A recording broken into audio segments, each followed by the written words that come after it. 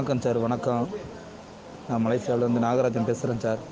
அதான் சார் நம்ம கூட இருப்பாங்க பாருங்கள் இந்த என் பக்கத்தில் வந்து ஒரு சோப்பு டவுசரு மஞ்சள் பனியன் போட்டிருப்பார் பாருங்க சார். அவர் பேர் மாரிமுத்து அம்பலம் சார். அவங்க அப்பா இப்போ தவறிட்டார் சார் வீட்டில் ஒரு இப்போ ஒரு அரை மணி நேரம் ஆகுது சார். அதான் நான் உங்களுக்கு சொன்னேன்ல இந்த அதிர்ச்சி கேட்ட உடனே அவருக்கு ஒரு ஸ்ட்ரோக் அடிச்சிச்சின்னு சொன்னேன் பார்த்தீங்களா அவர் இப்போ அரை மணி நேரம் அரை மணி நேரத்துக்கு முன்னாடி தவறிட்டு இறந்துட்டார் சார். அந்த சிவப்பு சாக்ஸுமும் மஞ்சள் டிஷர்ட்டும் போட்டிருப்பார் சார். அந்த பெரியவருக்கு பின்னாடி நிற்பார் அவர் தவறிட்டார் சார். என்ன சார் செய்கிறதுன்னு தெரியல.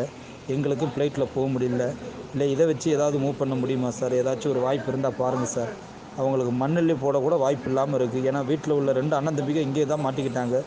வீட்டில் வந்து அவங்களுக்கு எடுத்து அந்த நல்லது கெட்டது சடங்கு செய்கிறது கூட ஆள் இல்லாத அமைப்பில் இருக்குது சார்.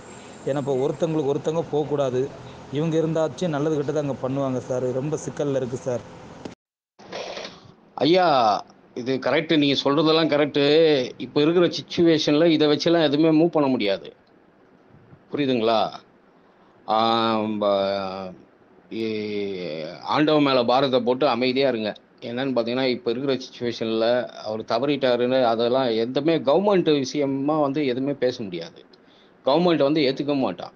இப்போ ஒரு ஆர்மி பர்சன் வந்து பார்டரில் இருக்கிறாரு. ஒரு எமர்ஜென்சி சுச்சுவேஷன் அப்படின்னும் பொழுது அவங்க ஃபேமிலியில் யார் தவறி போனாலும் அவரே வர முடியாது. அது மாதிரியான ஒரு சூழ்நிலை.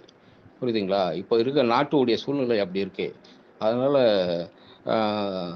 அவருடைய ஆன்மா வந்து சாந்தி அடையணும். அதனால் எல்லாருமே வேண்டிக்கோங்க. நானும் வேண்டிக்கிறேன்.